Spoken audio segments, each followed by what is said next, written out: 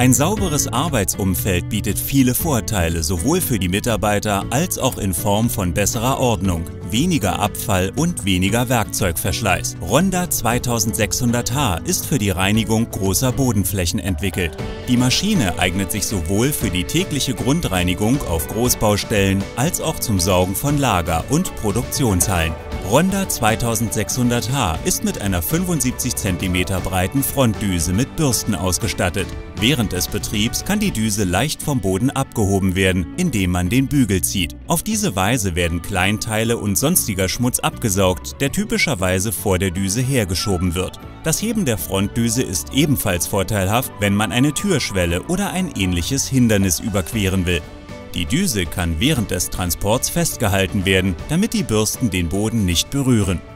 Der Staubsauger ist mit kräftigen Rädern ausgestattet, die für ein unbeschwertes Manövrieren sorgen. Für die Reinigung zwischen Regalen oder Maschinen sind Schlauch, Rohr und Bodendüse standardmäßig enthalten. Eine Abstellhalterung für das Rohr kann optional erworben werden.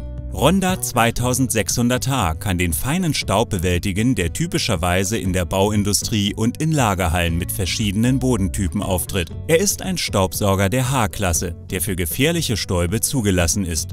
Das Filtersystem besteht aus einem Teflon-beschichteten Kanalfilter mit sehr großer Oberfläche, der als Vorfilter funktioniert, und einem großen HEPA-Filter, der die feineren Partikel zurückhält.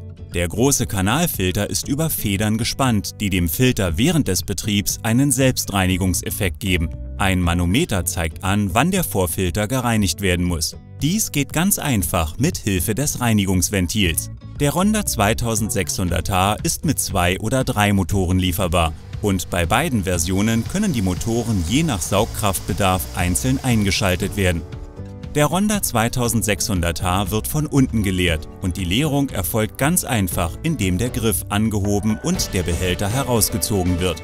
Das aufgenommene Material kann entweder mit dem mitgelieferten Behältereinsatz in einem Kunststoffsack oder direkt im Stahlbehälter gesammelt werden. Beim Einsatz auf Baustellen und bei gefährlichen Stäuben muss dieser Behältereinsatz mit Kunststoffsack verwendet werden. Ronda Vacuums for Life